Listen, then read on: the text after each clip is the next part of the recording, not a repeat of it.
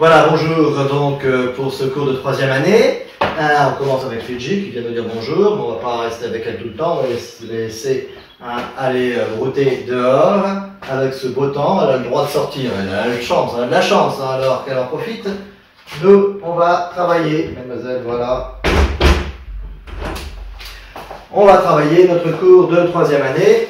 Nous sommes arrivés dans l'Ancien Testament à la suite du roi David. On avait parlé du roi David la dernière fois, et vous vous souvenez que David avait reçu de Dieu une promesse à travers le prophète Nathan, la promesse de voir béni sa maison.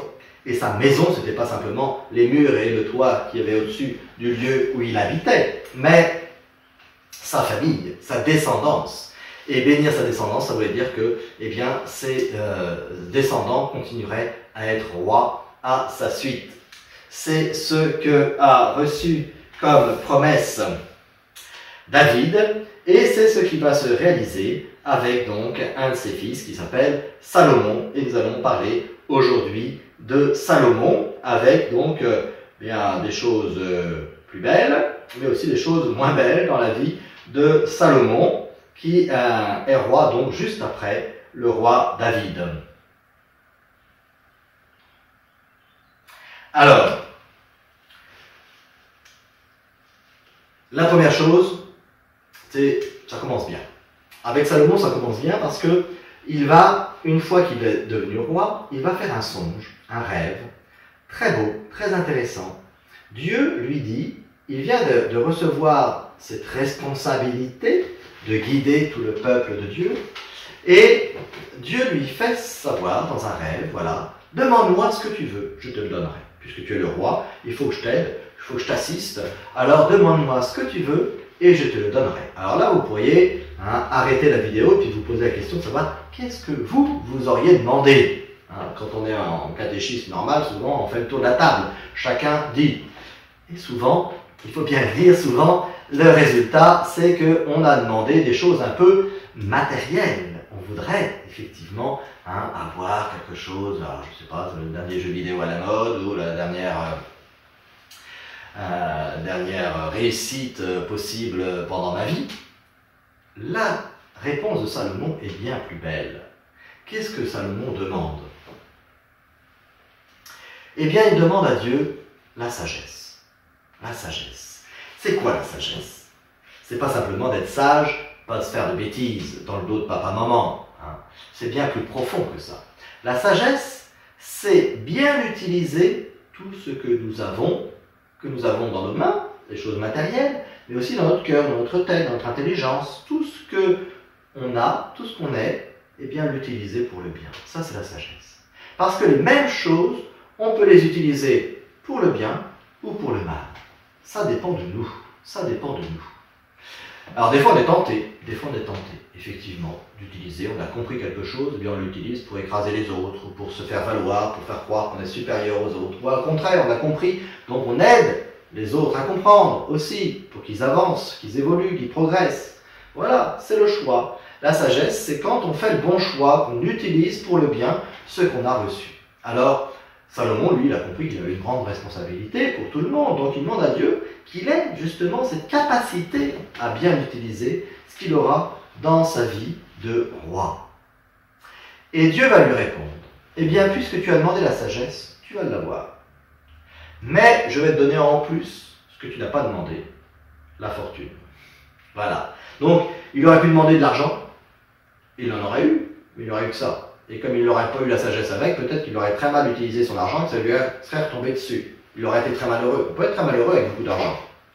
Alors, Salomon, lui, il a demandé la sagesse, Dieu lui a donné. Et en plus, il lui a donné la fortune pour qu'il puisse bien utiliser cette fortune puisqu'il avait la sagesse. Ça, c'est le premier, euh, premier paragraphe, donc la demande. Qu'est-ce que demande Salomon à Dieu La sagesse, c'est une belle leçon pour nous, pour chacun d'entre nous. Qu'est-ce qui est le plus important? C'est pas ce qu'on a, c'est l'usage qu'on en fait. La deuxième chose, eh bien, c'est ce qu'on appelle le jugement de Salomon. Le jugement de Salomon, la deuxième chose qu'on va retenir aujourd'hui, c'est qu'est-ce que Salomon va faire justement de cette sagesse? Comment il va utiliser cette sagesse? En fait, Salomon, comme roi, était reconnu justement par sa sagesse. il donnait des bons conseils. Donc du coup, on venait de partout. On venait lui demander. Oui, il demandait conseil, mais en même temps, on lui demandait même d'arbitrer quand les gens n'étaient pas d'accord. C'est lui qui mettait les gens d'accord. Voilà, il avait un rôle de juge. On lui faisait confiance. On faisait confiance à sa sagesse qui était de renommée importante. Et voilà qu'un jour, voilà ce qui se passe. Ah, écoutez bien. Deux femmes voisines, qui habitent l'une à côté de l'autre, attendent toutes les deux un enfant. Il y a quelques jours d'intervalle, chacune met au monde un bébé garçon. Donc chacune a leur son bébé, ils sont très heureuses, très hein, contentes. Et voilà que, une nuit, une femme, sans faire attention dans son lit, étouffe son enfant. Et son bébé meurt. Et quand elle s'aperçoit de cela, c'est forcément un drame. Elle prend son bébé, elle va chez sa voisine, elle met son bébé mort dans le lit de sa voisine et elle prend le bébé vivant.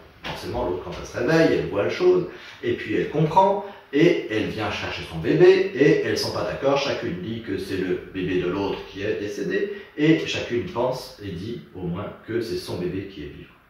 Alors finalement, on va voir Salomon. Et chacune raconte son histoire. Et Salomon est là, il entend effectivement les deux femmes qui disent chacune avoir raison. Alors qu'est-ce qu'il va faire? Eh bien, attention, là il va vous étonner Salomon. Le jugement de Salomon, c'est qu'il dit Ah bon, toutes les deux vous dites que cet enfant vivant, c'est le vôtre. Eh bien, c'est très facile. Apportez-moi une épée. Et puis cet enfant, on va le couper en deux, puisque vous le voulez chacune pour vous. Et vous en aurez chacun un outil. Alors là, qu'est-ce qui se passe? Eh bien, la femme, dont c'est vraiment le bébé, elle dit Non, non, ne faites pas ça. Je préfère qu'elle prenne cet enfant plutôt qu'on le coupe en deux. Et l'autre, elle dit Mais si, si, si, c'est une bonne idée, faites ça, faites ça. Alors Salomon, qui bien sûr n'avait jamais eu l'idée de le faire pour de vrai, mais qui voulait justement voir la réaction de chacune de ces femmes, eh bien Salomon comprend qui est la vraie maman. C'est celle qui préfère préserver la vie, hein, même si elle ne garde pas l'enfant. Alors Salomon dit bien, donnez-lui à elle cet enfant, c'est le sien. Il l'a reconnu grâce à ce subterfuge hein, qu'il a euh, mis en place pour, euh, pour découvrir la vérité. Salomon a demandé la sagesse, et voilà, l'exemple qu'on retient hein, quand on dit le jugement de Salomon, c'est cette histoire, cette petite histoire qui est dans la Bible et qui nous montre justement l'usage de la sagesse pour essayer de trouver la vérité hein, lorsque, ben, lorsque on ne sait pas, lorsqu'il y a plusieurs éléments et qu'on doit décider et qu'on ne sait pas qui dit vrai et qui euh, dit faux. Des fois c'est pas facile, des fois c'est pas simple. Hein.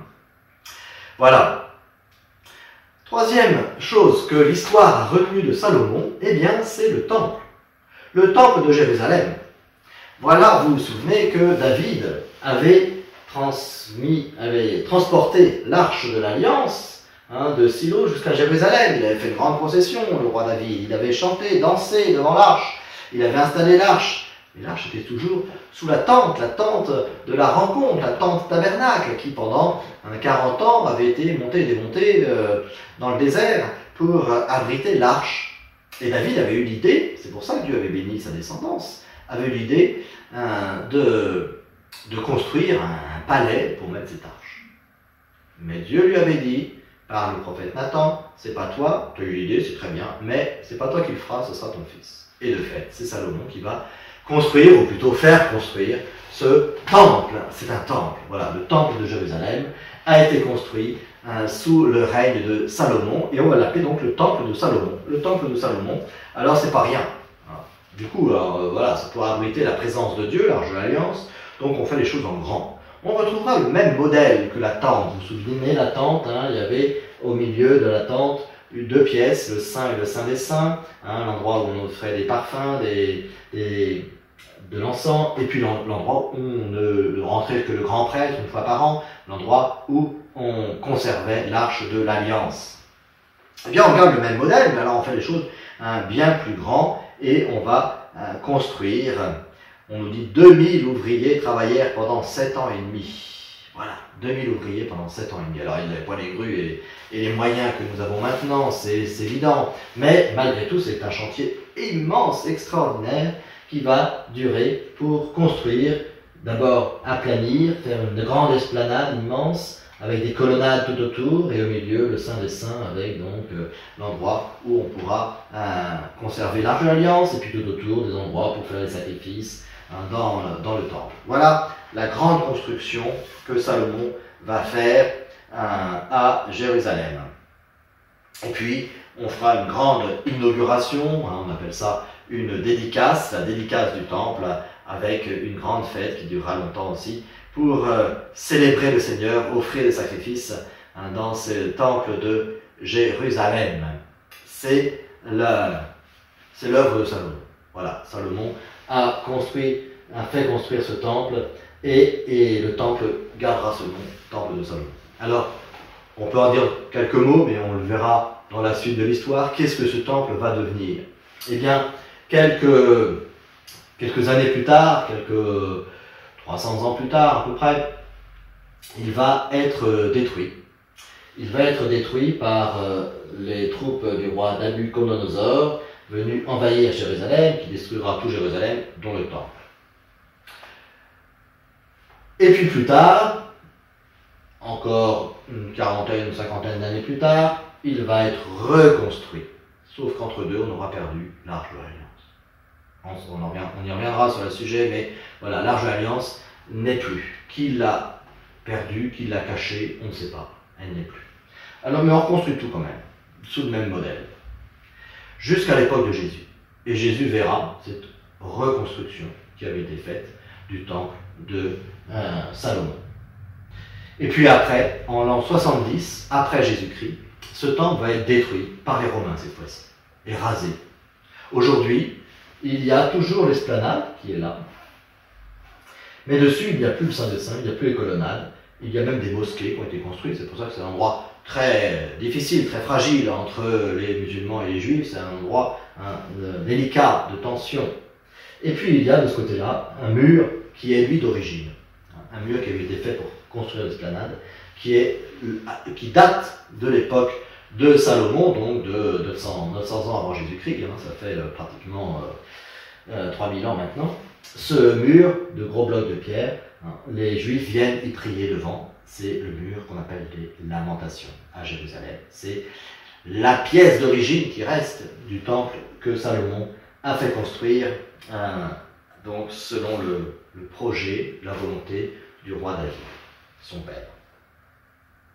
Enfin, je vous avais dit qu'il y avait de la lumière, mais aussi de l'ombre dans la vie de Salomon. Voilà que Salomon, à la fin de sa vie, va euh, perdre sa sagesse et va devenir infidèle, infidèle à ses dieux, infidèle au Dieu unique hein, de, de, ses pères. Et c'est à cause de femmes étrangères dont il va s'éprendre, et puis il va se détourner du vrai Dieu pour adorer des idoles. Alors à ce moment-là, le problème c'est qu'il ne mérite plus hein, de transmettre la, le choix de Dieu. Et pourtant Dieu s'est engagé à travers David de bénir sa descendance. Alors là, il y a, une difficulté. Qu'est-ce que Dieu va faire? Il s'est engagé à, bénir sa descendance et en même temps, il ne mérite plus la descendance, s'est détourné de Dieu et ne l'écoute plus. Alors est-ce que les enfants de, euh, de Salomon vont pouvoir régner sur le pays ou pas? Est-ce que Dieu va garder la fidélité à son engagement ou est-ce qu'il va, il va corriger en fonction de la personne? Voilà la question qui est intéressante à se poser. Dieu veut notre bien, Dieu nous protège, mais en même temps on est libre de se détourner de lui. Alors est-ce qu'il va continuer hein, à nous protéger, à nous guider si on n'en veut pas, si on ne veut pas de lui? Eh bien un peu, mais pas complètement. Voilà la réponse. Voilà la réponse qu'il faut donner, puisque qu'est-ce qui va se passer? Eh bien le royaume va être divisé en deux. Le royaume du sud, qui s'appellera le royaume de Juda. Et là, le fils de Salomon, puis son petit-fils, ainsi de suite, continueront à régner. Mais pas sur l'ensemble du royaume, la moitié seulement. Et le royaume du nord, lui, s'appellera le royaume d'Israël.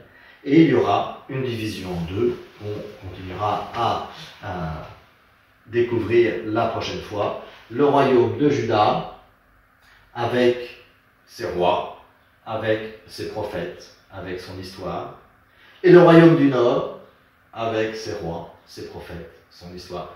Malgré tout, Jérusalem, la capitale avec le temple, reste pour le royaume de Juda. Mais voilà, il y a une autre tradition avec des vrais prophètes envoyés par Dieu qui euh, continuera. Le royaume s'est divisé à cause de l'attitude de Salomon à la fin de sa vie. Et c'est un, grand malheur pour, euh, pour la suite de, de l'histoire de ce peuple qui n'a pas été fidèle. Voilà. Dieu, lui, est fidèle à ce qu'il donne, mais en même temps, il attend une réponse de notre part. Alors, nous avons, nous avons à prendre en compte non seulement ce que Dieu nous a donné à travers ce qu'on a reçu de nos ancêtres, mais aussi à la, réponse qu'on a à lui donner aujourd'hui, qui est importante, qui est importante pour euh, que son œuvre puisse continuer à être et à grandir dans notre vie. Voilà donc pour cette leçon sur Salomon, et nous continuerons donc la prochaine fois avec cette division du royaume, Juda au sud, Israël au nord, que nous retenions cela. Ça nous fera comprendre peut-être plus tard justement cette division qu'on a appris l'année dernière, il y a deux ans, du, pays de Jésus, la Judée, la Samarie, la Galilée. Hein. Ça, c'est des choses qui viendront après, ça sera la conséquence. Quand je vous dis royaume de Juda, royaume d'Israël, nous sommes à peu près 900 ans avant Jésus-Christ. Ce n'est pas encore le, pays que Jésus a connu exactement hein, euh, lorsqu'il viendra. Voilà donc pour la leçon d'aujourd'hui. Je vous remercie. J'ai essayé de parler un peu plus fort. Peut-être que ça. va. alors, il faut remonter le son. J'ai toujours un peu de mal à parler pas trop vite et assez fort. Euh, je vous souhaite une bonne semaine. Et je vous dis à la semaine prochaine. Il y aura de toute façon la leçon euh, prochaine qui sera mise en ligne. Et ah non, non, j'ai pas encore fini quand même. Il faut que je vous parle de cela. C'est le livret de préparation à la première communion. Alors c'est vrai que nous sommes un peu dans, dans l'attente et nous ne savons pas exactement comment est-ce que euh, on pourra faire, est-ce que la première communion va avoir lieu ou pas? On espère et on fera tout pour. Mais ça ne dépend pas complètement de nous. Alors on va prier pour ça et de toute façon elle aura lieu un, jour. Est-ce qu'elle aura lieu à la, à la date prévue? On verra. Mais il y a une chose qui est certaine, c'est qu'il faut être prêt. Il faut toujours être prêt. Alors pour cela, eh bien, vous allez trouver dans votre boîte aux lettres le petit livret. Je ne vous le présente pas dans les détails, on n'a pas pu faire la réunion avec les parents, mais vous allez comprendre rapidement puisque c'est le même modèle que celui de l'année dernière qui était vert pour la première confession. Là, on parle de la première communion. Donc vous, allez voir, il y a d'abord les premières questions, c'est celle de l'année dernière, c'est juste pour réviser celle de la confession. Et puis après, vous avez les chapitres. Le but, c'est d'en faire quatre. Quatre chapitres. Il y en a un cinquième, mais on le fera ensemble, le cinquième quatre chapitres, et vous avez à la fin, tout à la fin,